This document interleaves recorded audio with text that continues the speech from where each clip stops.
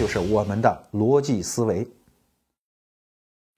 欢迎各位来到逻辑思维捧场。今天啊，我们为大伙破一个闷儿，这也是我自打读中国历史以来心中最大的一个闷儿，一个塞在我心中好几十年的一个大疑团。今天我们看一看能不能解开它。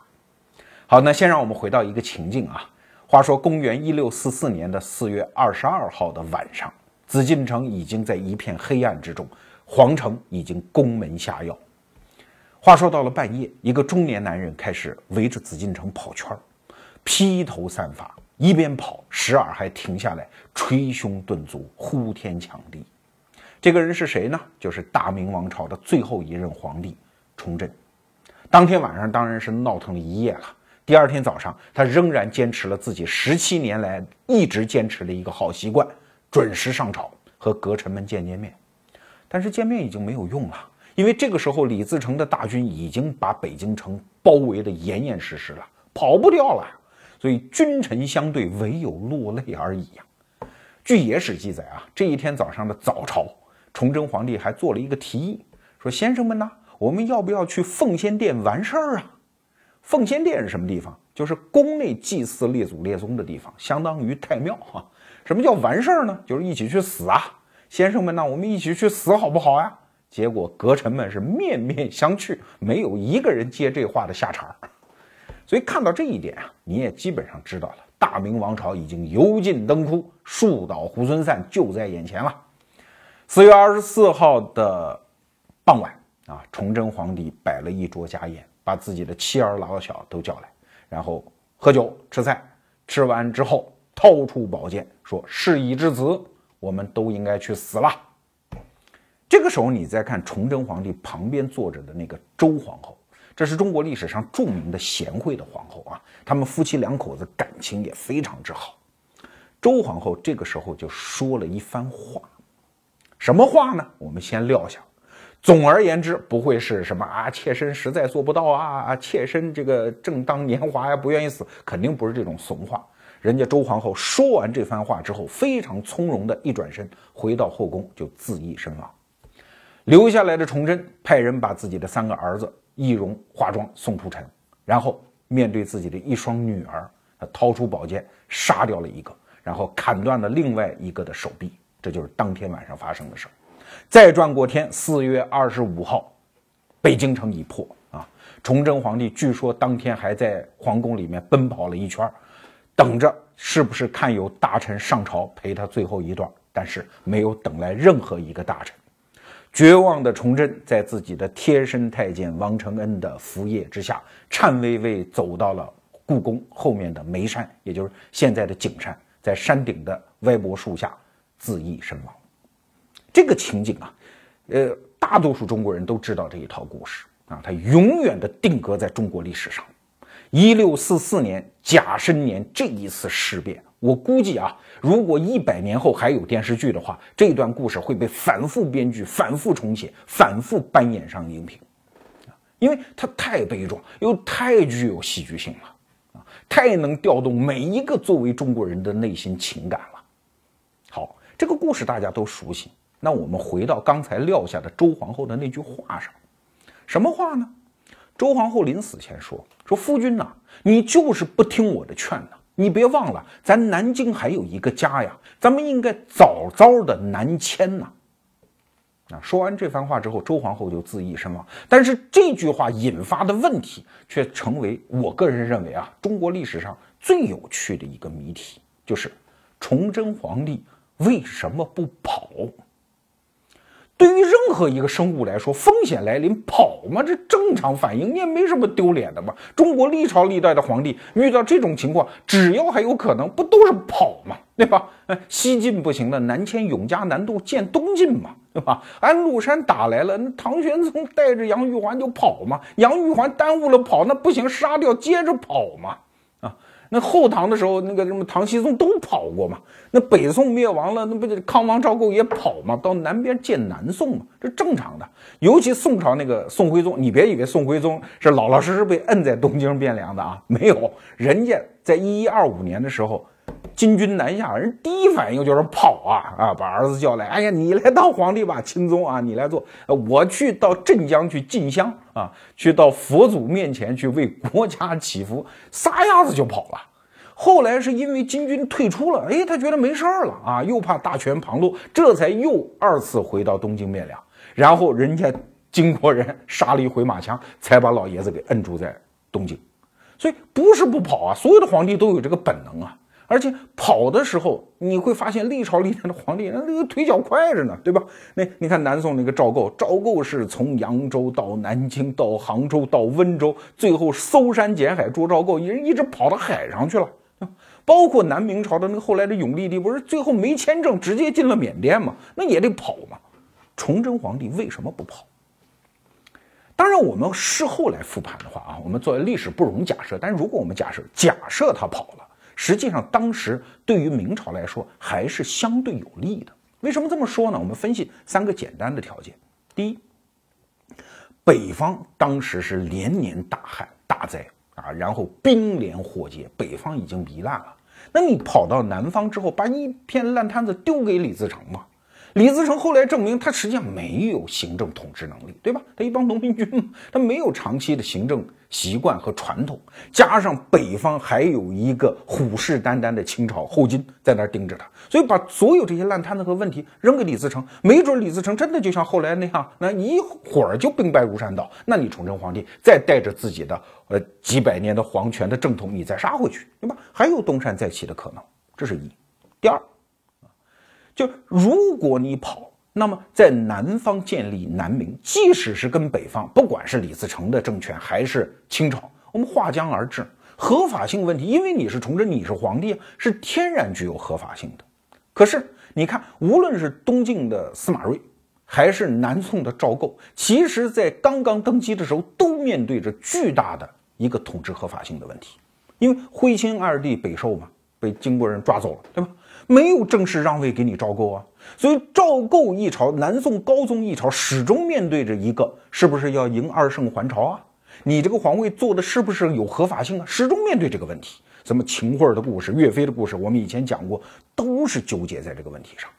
可是你崇祯没这问题啊，你跑那儿，你就是正根儿的皇帝。所以后来南明出现什么福王系、唐王系，包括左良玉的叛乱等等，都是在争夺这个合法性。啊，导致南明没有办法拧成一股绳，形成一个完整的军事力量来抗击抗清啊，这就是后来的问题。所以崇祯皇帝不南迁，也直接导致后来南明的覆亡。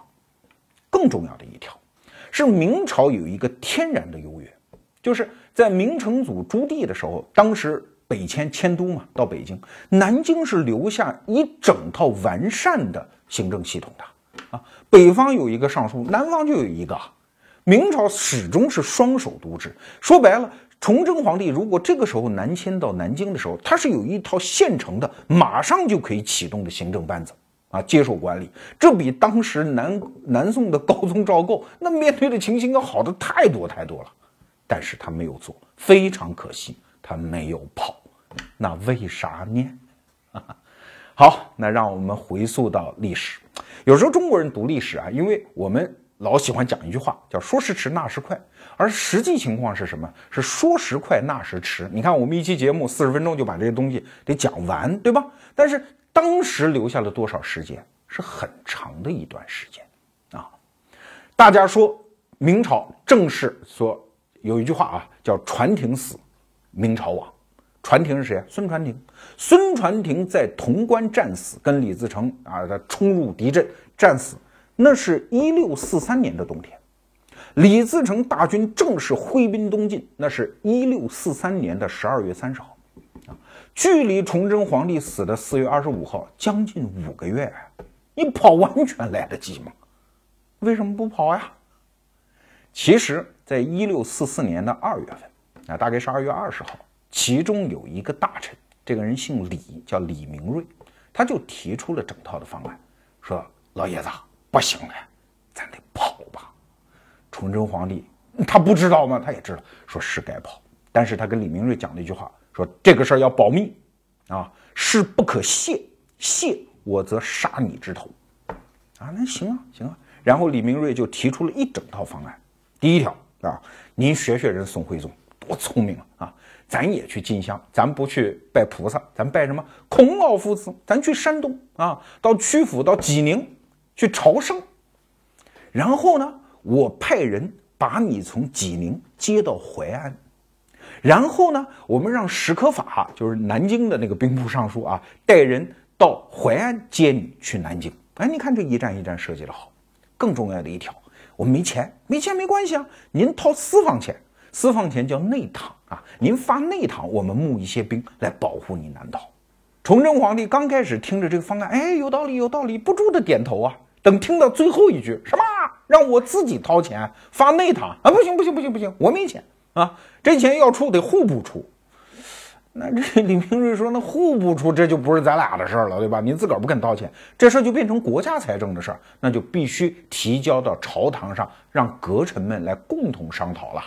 于是第二天，一六四四年的二月二十一号，这件事儿就提到了阁臣会议上，马上就有人提出来反对，不行，你不能走，君死社稷啊！那你会说？这个朝臣也是混蛋啊！你这时候挡着这事儿干嘛呢？你要务实嘛，要实事求是嘛。但是如果你站在当时士大夫的心态上，你是可以理解这个建议的啊。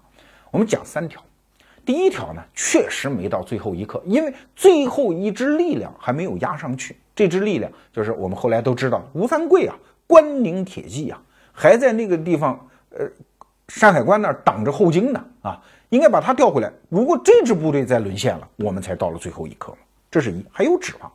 第二，要知道北京城在崇祯十七年间已经是一柄破鼓万人锤呀，已经被围城过五回了。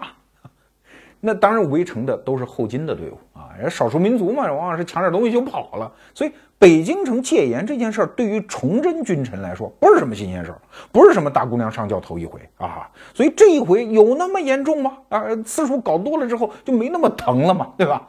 哎，所以这是第二个原因，第三个原因就更重要啊。要知道中国人的思维方式里面，他没有宗教，没有崇拜，没有信仰，但是他有一个东西，就是历史和祖先。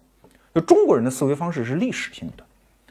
我们今天的人可能不知道，但是当时上上下下脑子里都知道一件事儿，这件事儿像一根刺一样扎在每个人的脑子里。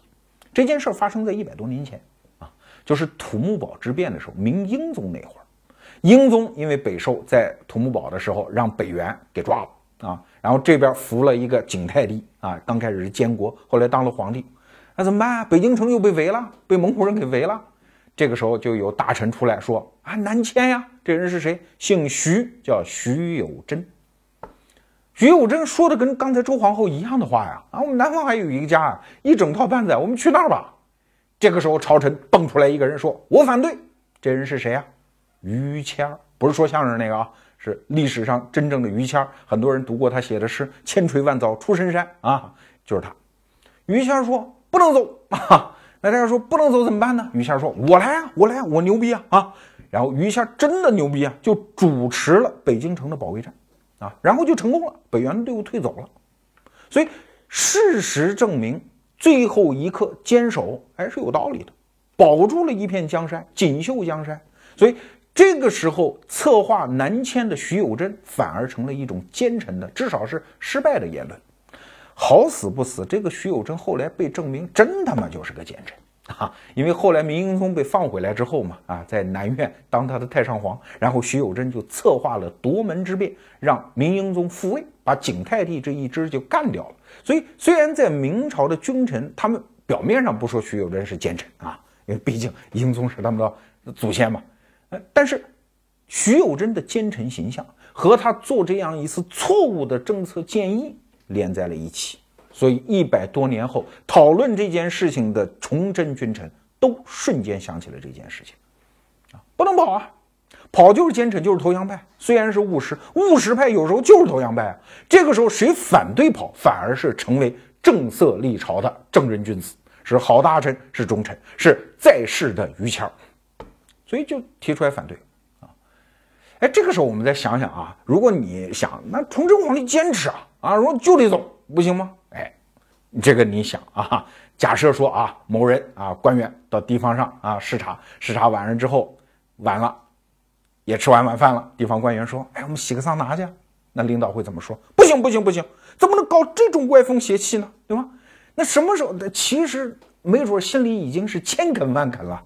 那怎么才能把领导拖到桑拿呢？那你地方官员得反复恳请啊。对吧？没有关系啦，天知地知，你知我知啦，月黑风高啦，钱我已经付啦，对吧？领导也辛苦了，你得讲一万个理由拖着他去，最后人领导就坡下驴，半推半就，哎，他才能脱衣服嘛。崇祯皇帝一样啊，哈，这件事即使心里千恳万恳，但是哎，你得有人反复欲恳嘛。啊，恳切陈词嘛，以头碰地嘛，啊，头碰的要出血了嘛。最后我实在没办法，哎，这帮大臣啊，又要拖着我去干这种丢人的事儿，对不起列祖列宗，哎，这才好南下嘛。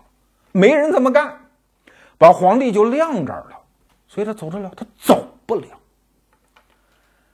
话说这一天过去没多久啊，因为前方的败报不断的传来，所以又有人开始提。说皇上您不走也就算了，要不这样吧，咱们把太子给送走吧。啊，太子到南方到南京，对吧？您这儿实在不行了，太子还因为他有正当合法性嘛，他能够再见朝廷，我们还有留得青山在啊。崇祯皇帝其实这时候心里就不高兴，什么意思啊？啊，让我儿子去，我在这儿等死，他心里就不高兴。但是他理智上又知道这确实是一个解决方案，所以这问题又在朝堂上提出来了。这时候又蹦出来一个人，这是叫光师亨啊。这个大臣说：“不行，不能走啊！为什么不能走呢？不能笑唐朝的宁武之故事。那唐朝就这样，唐玄宗这个跑了啊，他的儿子儿子就是那个后来的唐肃宗啊，不是宁武又称帝吗？啊，后来把唐玄宗老头就当了太上皇了，晚年凄凄惨惨，天天想着杨玉环嘛，对吧？”说怎么能让我们的我们的国家是以孝治天下呀？怎么能够让太子这个如果他当了皇上，他背上不孝的骂名呢？这个事儿不行。崇祯这个气呀！第一，这事儿他本身就不愿意啊，所以骂这个提议的大臣。然后他又明知道这是一个解决方案，又有光师亨这王八蛋出来阻止，所以他又恨这个光师亨。最后据说啊，那一天他在朝堂上把桌子都给踢了，不欢而散。这件事儿就又搁下了。我们刚才提到啊，其实李自成一路往东打，但是他不是顺着潼关从河南这一个这条路打到北京，他是从北边，是从大同那边，是从昌平这一带打进北京。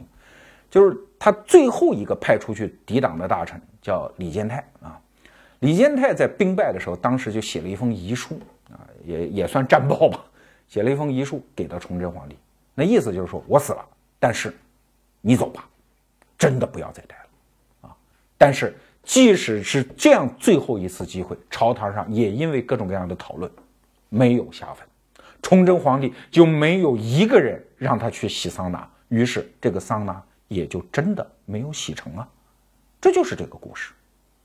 那问题又来了，为什么没有人提议呢？我们再看宋徽宗，宋徽宗当年去镇江进香的时候，身边带的人带的人多了，什么蔡京、蔡京儿子蔡攸啊，还有那童贯都陪着他跑啊。那一朝嘛，你总得出几个奸臣吧，哪怕跑的人不是什么好人，那奸臣总是有的吧，对吧？毛主席说嘛，有人的地方就分左中右，对吧？这时候只要出来一个人喊一嗓子，给皇上一台阶下，皇上这台阶就下了。为什么没有这个人出来？这又成了一个悬案。而且这个悬案更引起我们更大的疑虑的是，崇祯皇帝到最后几天嘴里面基本上就讲一句话，就是文臣误我啊。我们刚开篇的时候讲的四月二十三号早朝的时候，崇祯就是建议跟先生们去那个奉乾殿去完事儿那一次啊。据说那天早朝的时候，他拿手指蘸着茶水，在龙书案上写了几个字：“文臣个个可杀。”啊，而且他在眉山上吊的时候也留了一句话呀，哈，说。大臣我啊，治时天下。然后他临死那几天留下的最重要的一句话就是：“朕非亡国之君，诸臣皆亡国之臣。”好奇怪啊！一个亡国之君，通常在临死的那一刻，他恨的是对手，就是弄垮他这个国家的对手。他应该恨李自成，对吧？恨皇太极才对啊。他恨自己手下这帮人，而手下这帮人直到最后一刻，也没有任何一个人蹦出来给他台阶下。那问题就来了：崇祯和他的臣子之间到底发生了些什么呢？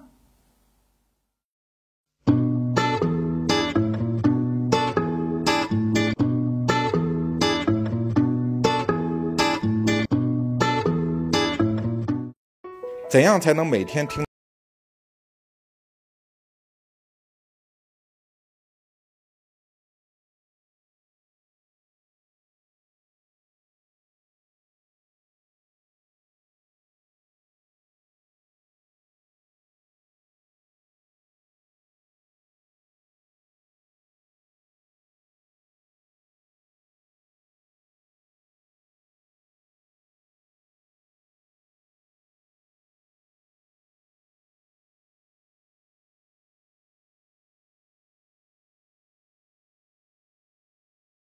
中国历史啊，有一个现象，就是所有的亡国之君没有什么好名声，因为历史不是你写的吗？你对头写的，那说你好话干什么？但是崇祯几乎是唯一的例外，他自己不是说吗？君非亡国之君，诸臣皆亡国之臣。哎，后来后世就接受了这套说法啊。崇祯是个好皇帝，好领导啊啊！你看他谥号叫思宗烈皇啊，思是怀念的意思，烈皇是殉国的意思，多么高大上的形象！他自己上位的时候，确实也是这样。大家想想啊，一个十七岁的少年登基之后，迅速的斥退了魏忠贤这样的小人，扶持了东林党一帮正人君子，对吧？按照当时儒家的伦理，这就是一个好皇上最开始的一个生花妙笔呀。紧接着，你看他几乎符合儒家所有对一个好皇上的描述。首先，非常节俭啊，他的皇后终年穿的是布衣服。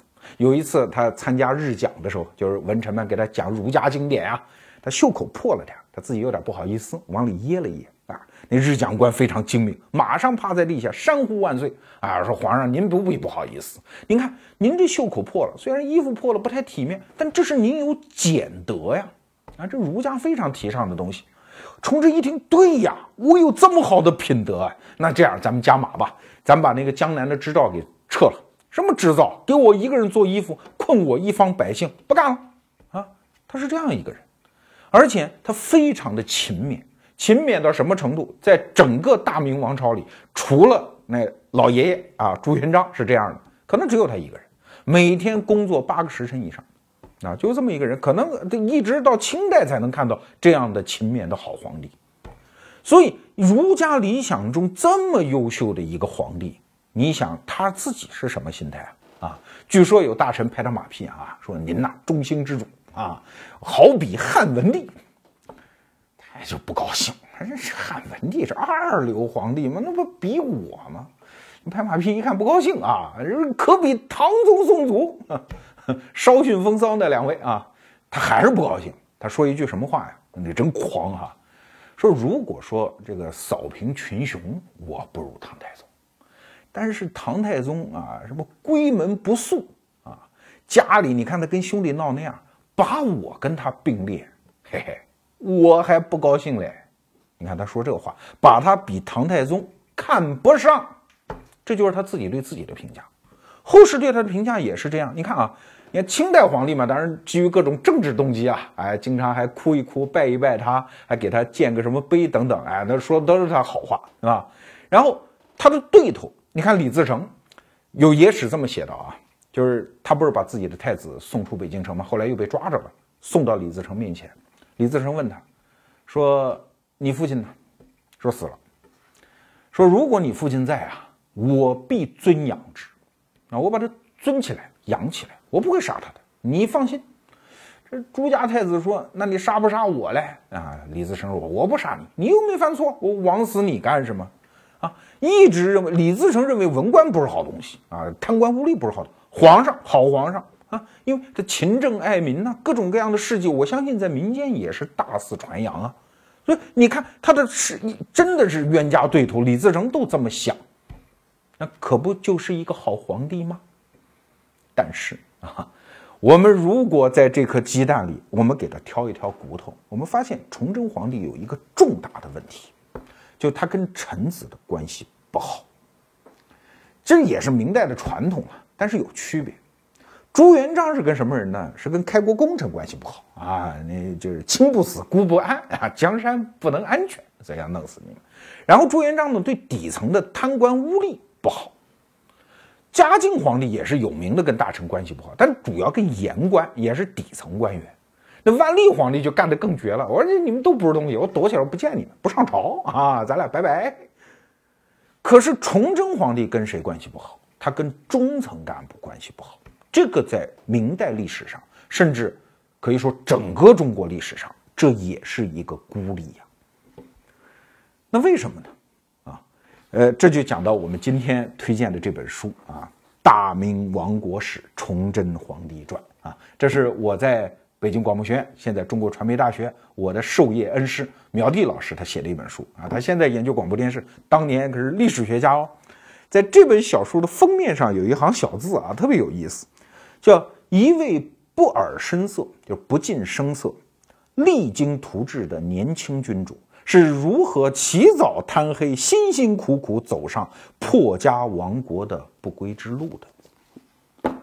对呀，你符合所有儒家关于一个圣明君主的一个条件，甚至按照这本书里面的讲法，什么万历时代明朝就开始不行了等等，这都叫胡扯。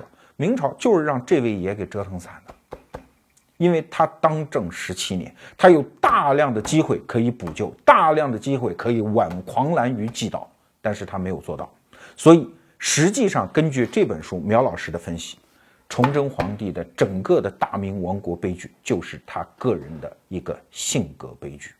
他为什么会跟他的朝臣闹到那个样子，以至于连一个像童贯、蔡京这样的奸臣，在他最危急的时候给他铺一段下坡台阶的路的奸臣都不会再有呢？我们来看看他怎么对待大臣啊。首先，刻薄寡恩，就是干活行啊，干活之后说给点好处，这事儿不行。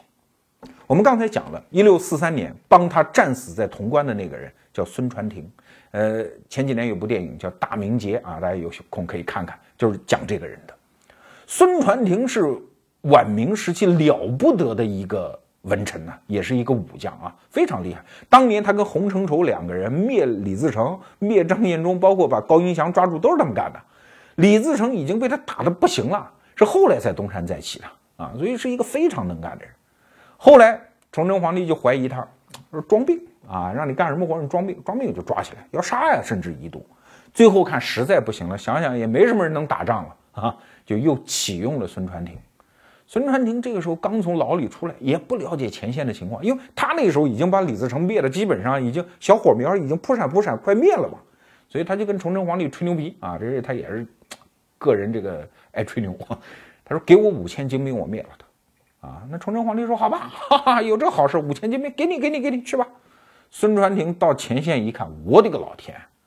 仅仅几年时光，李自成这个队伍已经壮大到山呼海啸的那个声势。说不行，马上给朝廷打报告，说这玩意儿搞不定五千精兵！我们就拿一个企业的领导人来说啊，你这中层干部给你报了一预算啊，然后根据实际情况，人说这不行，我们提高点预算。你你这个时候应该实事求是嘛？你猜人崇祯皇帝说一句什么？崇祯说。你不是自个儿说五千就够吗？不给就拿五千打。哎，江山是你的哎，哎对，就生逼着孙传庭用这五千。当时哪有什么精兵啊？基本上是新招募的新兵吧，在潼关一战身死，最后非常壮烈。孙传庭是这样一看，反正回朝廷这么一主子，肯定也是弄死我。与其在大牢里，在天牢里很不体面让人弄死。还不如我自己死得了，所以五十一岁的孙传庭啊，自己冲入敌阵而死。这应该算是就是怎么着也可歌可泣了吧？您知道崇祯皇帝是怎么可歌可泣的？他真的是可泣呀！他说：“孙传庭，别人跑了吧？啊，自己脱盔卸甲，自己潜逃了吧？所有按照阵亡将军的所有的序点不给啊，什么因子啊？”什么封赠啊？不给，没有，就这么一主啊！要钱没有啊？大臣死了之后不给任何好处。崇祯皇帝还有第二个毛病啊，就是溜肩膀，不担责任，所有的责任都是下面的啊。他作为最高统治者，说白了就叫最高负责人。什么叫负责任？责任你得担呐。大家还记得《大话西游》里面 “Only You” 就是唐僧唱那唱词吧？对吧？啊，唐僧在探监的时候跟孙悟空讲啊，唱就是那送死你去，背黑锅我来。唐僧为什么好领导啊？他就是这样的，背黑锅我来。我还记得这个企业家王石啊，在万科的老板，他曾经就跟中层干部讲过一句话，说这事儿有风险，你们放心去干，干坏了向董事会交代，我来，责任都是我的。哎，那你想中层干部干的才有劲儿吧？人崇祯可不是这么个人，在以前的节目里我讲过，他怎么杀他那个兵部尚书陈新甲。陈新甲跟他密谋说，咱们跟主要敌人李自成嘛，对吧？咱们跟后金谈判，咱们不跟辽东打了，行不行？崇祯说，你去啊，你去谈判。后来谈判好不容易谈成了，结果陈新甲一个失误，把消息给泄露了啊！举朝大哗，说怎么能投降呢？怎么能谈判呢？结果崇祯皇帝就窝了一口气，最后找一借口把陈新甲生给杀了。兵部尚书啊，而且当时是明代朝廷里面为数不多的号称知兵的兵部尚书啊。还有一个兵部尚书就更倒霉，这人叫王洽。王洽这哥们儿长得帅啊，我们经常网上有一句话说长得帅也有错，长得帅是没错，可是你看看崇祯皇帝是怎么对待这位长得帅的啊，非常魁伟。崇祯皇帝非常高兴，在朝堂上看这臣子，说多棒啊，这哥们儿啊，多像门神呢！你看这长得样。后来有一天，兵部尚书出缺啊，崇祯皇帝，哎，那哥们儿不是长得像门神吗？长得像门神就该把门啊啊！我们让他来当兵部尚书。这哥们儿从来没读过兵书战策啊，一下子就从一个工部侍郎当了兵部尚书。事实上，史家后来研究呢，这哥们儿在后来打仗过程中虽然不懂，但是很勤勉，至少没有什么犯过错。但是有一次大败之后，崇祯皇帝就说：“靠，得杀个人吧？不杀个人，这帮家伙不好好干活啊！杀谁呀？一看，哎，就是他，说门神嘛，门神没当好门神，让别人破关而入，皇太极又祸害他一回啊，那就杀他吧。”就生把这个王洽没有任何错误，是你把他提到这个岗位上，他就生给杀了。你这叫溜肩膀，所有的责任都是臣下的，跟我当皇上的没关系啊。有错我就宰你们。而且崇祯皇帝还有一个性格上的重大缺点啊，当然我们说这个词儿没有别的意思啊，就是他有点女性思维，就是他不是太理性，有的时候非常感性啊。比如说他。一一生当中多次下过罪己诏，你这这打仗不行吗？还下诏罪己啊，很委屈，很诚恳的样子，向天下人承认错误。可是承认错误之后，他就憋了一口气，窝了一个火。后来史学家就发现，他每下一次罪己诏之后，一定要找茬杀一人。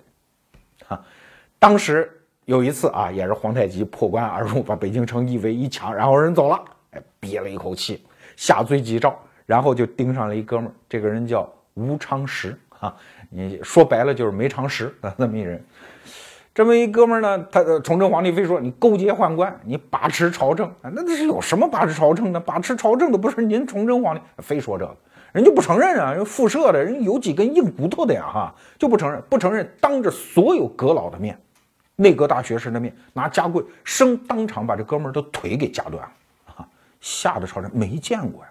明朝皇帝王八蛋的多的是，当着朝臣打屁股的，什么打的血肉横飞、打死的都有。说当场当着大臣的面把另外一个大臣的腿给夹断了，可能在明代也就这么一回，啊，吓坏了。其中最有趣的啊，说他这个有点感情用事，就是周延儒的事儿。周延儒是他任用的一个重要的一个大学士，甚至是首辅大学士，在明代啊。被杀的大学士一共就四个，崇祯他老人家干死俩，啊，其中有一个就是这周延儒。为什么说他是女性思维、情感用事呢？就是他最恨的不是说啊你犯了错，错大，不是，他最怕的是被欺骗。周延儒就干过这么一回，有一次清兵又破关南下，把北京城祸害一道，然后快走了，周延儒，你看他也是奸臣嘛。周延儒一看，哎，快撤了！说这是立功的好机会，然后赶紧跟崇祯皇帝说：“说我我出去揍他们去。”啊，崇祯皇帝好啊啊！大学士点兵啊，古今一段佳话也。点兵出去吧。这周延儒哪会打仗呢？但是他心里想嘛，你清兵要撤了嘛，所以就跟跟着在后头追啊撵，然后呢占点便宜，在京畿一带转了一圈，然后也杀了一些普通老百姓啊，拿着人头，你看这就是清兵啊，回来来报功啊。崇祯皇帝很高兴，赐了很多爵位啊，封他为太师，赐了很多银两，这事儿就完了。但是有人就给周延儒点眼药啊，说他不是那样了，出去吃喝玩乐。啊，然后他根本就没打仗，他杀良冒功等等，就给告了。哎呦，崇祯皇帝这气哟，他最受不了的就是别人骗他，啊，刚开始他只是借口把这周延儒给撤了，啊，后来怎么想怎么心里这口气窝火，这受不了啊，又派人给抓回来，抓回来给弄死。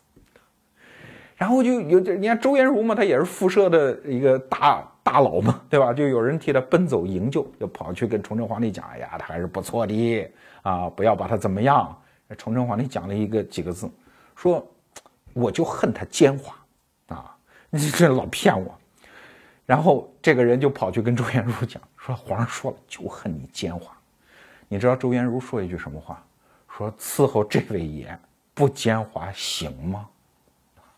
周延儒死的时候也特逗，然后太监去传旨嘛。因为就就是让他自尽嘛啊，太监去传旨说，虽然你有这么多这么多罪过，但是看在你啊曾经当过这个阁老的这个份上啊，太监也坏啊，是念到这儿故意停一下。但是看在你当过阁老的份上，大学士的份上，周延儒以为没事了嘛，把自己放过了嘛。然后太监又接着念，赐令自尽啊。然后周延儒一听这话，这本能反应就起来了啊，拔腿就跑。后来几个太监实在给他摁住了，最后哪是自尽呢？实际上就是让太监给弄死了。所以从这件事情你就看得出来，崇祯皇帝是一个什么性格的人。那他就这口气，我们很多家里有那种特别女性化思维的老婆的男同志，可能都有这感觉哈。呃，这事儿只要让对方窝了一口火啊，可能过几天拿别的事儿再给你找寻回来。总而言之，这口气他得出了。崇祯皇帝就这么一位爷。我们去看崇祯的整个十七年的历史，哈，你看刚才我们说了，大学士整个有名王朝杀了四个，他一人来俩；兵部尚书十四个，他亲手杀掉的五个，啊，还有四个是什么革职、听参、坐牢等等，哎，呃，然后二品以上的大员，他亲手干掉了二十多个人，甚至有一次啊，就是皇太极又祸害他走了之后。他实在气不过，抓了几十个大臣押赴菜市口斩首。当时有大臣就会在刑场上对他破口大骂，啊，要知道这在皇权时代这是很罕见的事情，骇人听闻的事情啊。雷霆雨露莫非皇恩吗？杀你也是皇恩吗？杀你之前最后一个动作让你冲皇上那方方向叩头谢恩呐。但是在皇权社会，一个大臣对皇帝破口大骂。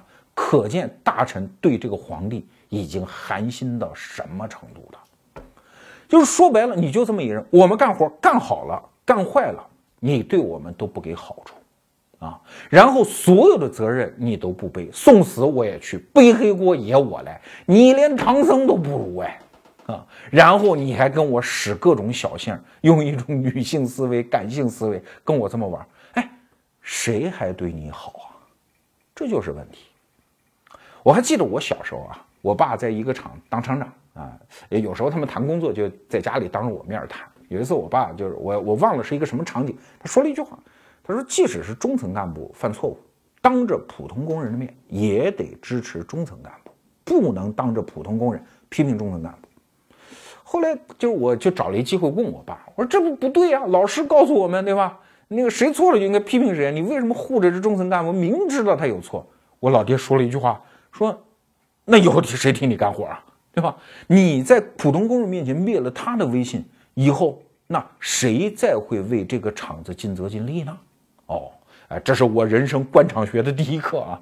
但这个道理虽然很普通，它是一个多么大的官场和权力常识啊！但是崇祯皇帝真的就没有这个常识。那他没有这个常识的结果是什么呢？我们来看看大臣们跟他是怎么玩的。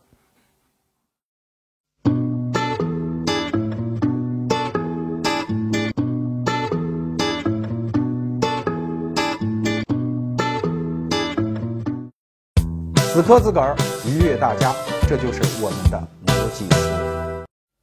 那既然你崇祯是这么一个皇帝，刻薄寡恩，又溜肩膀，不担责任，喜怒无常，感情用事，那请问我们臣子该怎么对待你呢？啊，这里面故事可就多了去了。但这儿我们就删繁就简，我们就讲俩宝贝儿啊，一个叫陈演，一个是魏藻德，是他最后一任内阁的首辅和次辅。这俩哥们儿啊，有一次啊，这时候已经到了大明王朝快将倾的时候，已经是一六四四年的春天了啊。当时大家都还指望最后一支力量，就是吴三桂啊。关宁铁骑如果回防，大明江山还有一搏啊。然后有一天，崇祯皇帝就跟这俩宝贝儿说。说要不咱们把吴三桂调回来吧？哎，这俩不吱声啊。然后崇祯就指使这陈演说：“你写诏书啊？”嗯，不写，不写啊。啊找一堆理由不写。说这皇帝也纳闷儿啊，就为啥不写呢？话说过了几天，吴三桂那是多灵巧的人呢，人自己就写报告说：“我干脆回防吧，我是看门狗嘛，对吧？家里已经乱了套了，我干脆回家打仗呗。我还在门口看什么劲呢？啊，好，那就把吴三桂要调回来。”崇祯皇帝跟这俩宝贝儿说。说现在你可以写了吧？这俩还是不写，装死狗啊，死活不吱声。这崇祯皇帝就纳闷，死活写，这是为啥不写呢？这陈演和魏藻德这俩人出了门之后，在门口就打个商量，说能写吗？不能写，为啥？万一事后啊，清兵打进来，北方丢了，就是因为咱俩做的这决策，让吴三桂回防。要说他自个儿说，我们俩千万不能说。到最后人头落地的还是咱哥俩，千万不能写。你看，当皇上就到这个份上，已经到最后死了，不知道怎么死的。底下大臣因为你不担责任，我们何苦为你担这个责任呢？更戏剧性的一幕啊，是鉴于一本书叫《红叶》，这是美国著名的汉学家叫魏斐德写的，个也是这一段历史啊。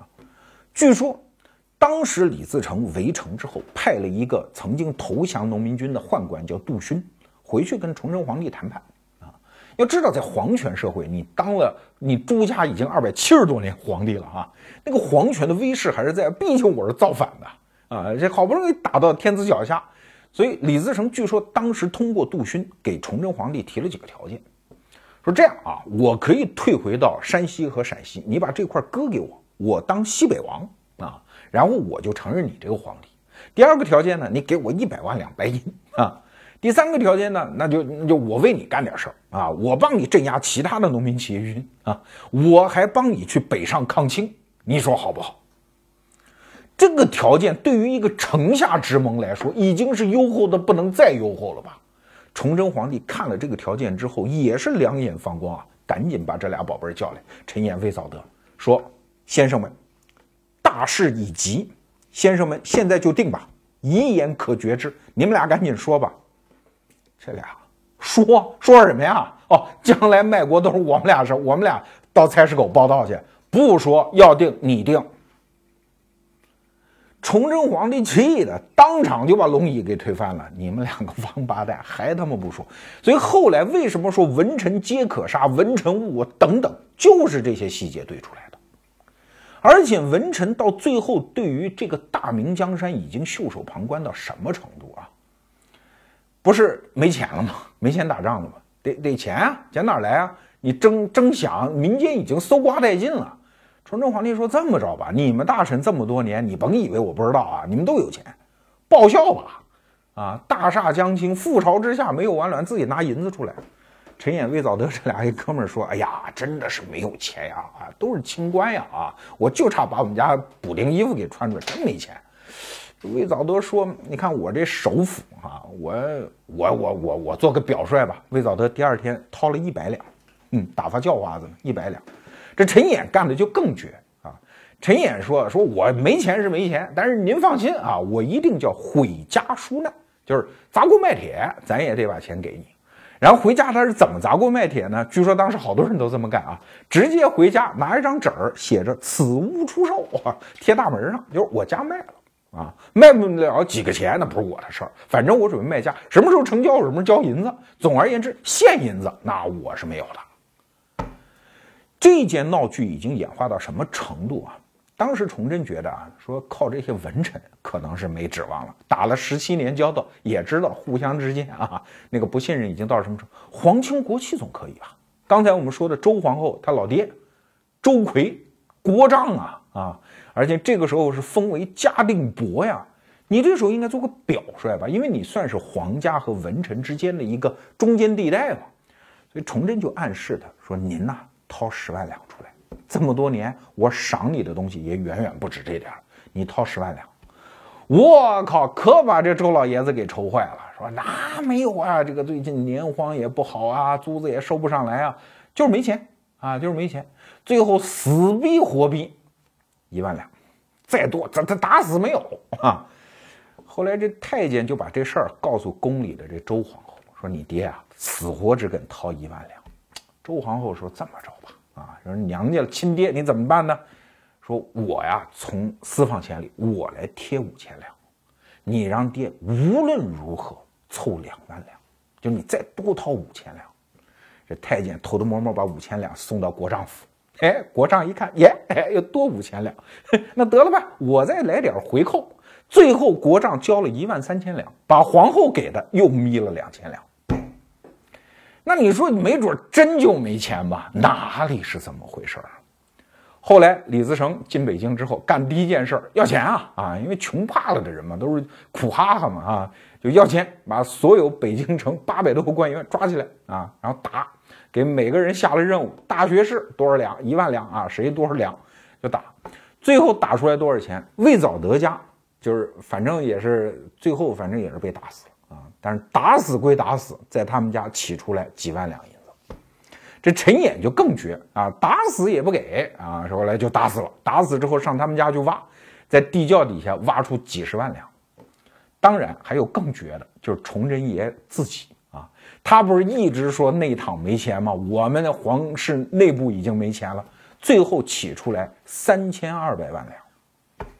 哎，我就不理解啊！这个老朱家，反正从万历开始就一直抠门，一直抠门，一直藏着银子，就不肯往外放。这这可能也是一种囤积心象，就是也是一种病啊。可可惜今天这大夫已经没时间给他们治了。他就是这样的一个非常可笑的局面。到最后的关头，你知道谁最慷慨吗？太监啊！哎呀，感动的崇祯皇帝直哭啊！那个太监一张一张银票往皇帝身边堆啊。因为我们是奴才嘛，那文官的换一家继续当官嘛，我们没办法呀。所以太监真的是叫回家纾难啊。所以崇祯皇帝气得直咬牙，说外朝这些文臣还不如中官呢，不如我身边的这些啊残疾人，这些太监呢。当时文臣跟崇祯皇帝就是这关系，咱俩没交情，因为我帮你使劲儿，你不替我挡后路。最悲惨的一幕，在我们看历史的过程当中，就属于崇祯皇帝死之后啊，他从眉山上吊那个尸首起下来，跟周皇后的尸体直接就排在东华门门口，几天啊，没人给收尸啊，大小官员走在旁边绕道走，跟没看见一样，没看见，没看见啊，我近视眼。最后是一个六呃六品的主事，这个官员实在看不下去了。啊，自己掏钱买了两口柳木的薄棺，就是老百姓用的棺棺材，才给这两口子收敛了。那李自成进京之后，原来这些官员什么表现呢？啊，我们再看这个陈演和魏藻德这俩啊哥们儿啊，你看见这个，这其中有一哥们儿啊，看见这个李自成大马要进京了啊，趴在地下山呼万岁啊，终于又盼到明君了。你们来了，然后李自成不理他，大兵就过去了。然后我这冲着背影还喊万岁啊！尤其这俩哥们儿联手去见李自成，说：“你看我们俩就是有身份证的人啊，有身份的人，我们见见你啊。”李自成看就说：“哎，你们俩怎么不死啊？你们怎么不死啊？你不当官吗？你们有学问吗？啊，不是孔夫子教出来，应该殉国才对啊！我，说我们哪能死啊？您这又圣主在朝，我们方可不效用啊！我们要为你报效啊！我们俩怎么能死呢？”当然，我们可以指责这些士大夫无耻啊！很多人都说这个明代世风不好，士大夫无耻。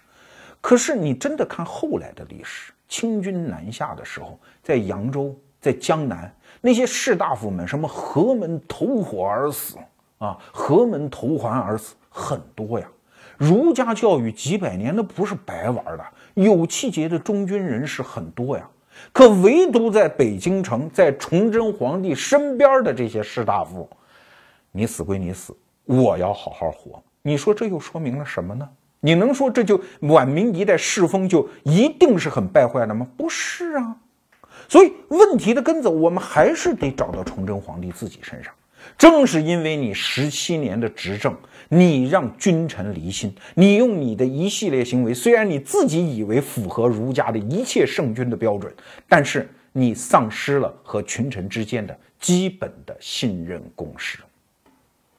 说到这儿，基本上我自己认为啊，我说服自己了，我终于明白崇祯为什么不跑了，因为没有人支持他跑。啊，不管是跑还是跟李自成达成任何城下之盟，这都相当于我们前面举的那个例子，官员想洗桑拿啊。不管你做出多少暗示，哎呀，好累啊，最近需要休息一下啊，啊，最近好热，你都把衣服脱光了，所有的下级官员就在旁边，心里都明镜似的，就生看着你不张那个嘴，因为他们知道，一旦他们真带你去洗了桑拿，你回头就到纪委把他给举报了。请问谁还去帮你干这件事情呢？就是这么一个可笑的场景，导致了崇祯皇帝最后也没有机会离开北京城一步。最后我说一段题外话啊，我看到一组材料，就是西欧的海盗啊，海盗，你看这个职业是没有任何正当性的，对吧？可是海盗为了创造正当性，他们有一个理由，他每当劫夺一艘船之后，马上把船长抓起来，问原来这艘船上的船员，说你们说这个船长原来有没有欺负过你？如果大家说这个船长是个坏船长，现在就给宰了 啊！如果大家觉得是一个好船长啊，我们给他放了。那啊，真的还有船长被海盗抓了之后，海盗觉得，诶，这个听调查之后觉得是好船长，还送了一艘船给他，又让这个船长继续当船长。这西欧历史上真发生过这样的事儿。为什么说这个场景？我们想说权力这个问题。什么是权力？中国人对权力一直认为这是一个稳固的结构，这是一个必须我们去讨好他的一种威权，哪里是这么回事儿？都是人类社会，权力是什么？权力是一种临时性的平衡态，权力是一种君臣之间、上下级之间达成的一种共识。